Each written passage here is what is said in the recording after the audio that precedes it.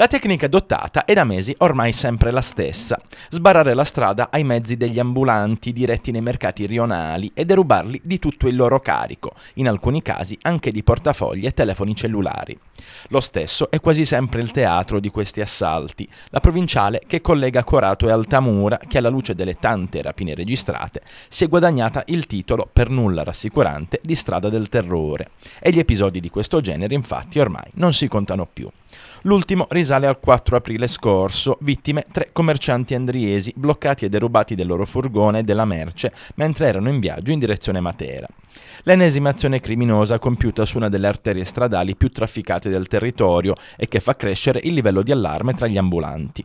Solidarietà nei loro confronti è stata espressa dalle associazioni di categoria come Casambulanti Un'impresa, che in un comunicato stampa sottolineano come il fenomeno, da considerarsi a questo punto una vera e propria emergenza, stia progressivamente alimentando il senso di paura tra i commercianti, rendendo necessari interventi istituzionali per garantire maggiore sicurezza.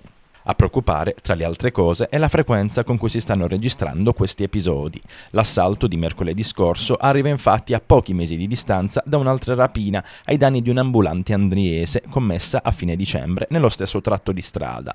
L'uomo, diretto a Gravina in Puglia, venne bloccato da due banditi a volto coperto all'altezza dell'incrocio per Poggiorsini e dietro la minaccia delle pistole costretto a consegnare il suo furgone Iveco Daily carico di capi di vestiario. Le indagini condotte dai carabinieri portarono portarono al ritrovamento in un fondo agricolo delle attrezzature per il montaggio delle bancarelle di vendita, ma del mezzo, della merce e tantomeno dei rapinatori nessuna traccia.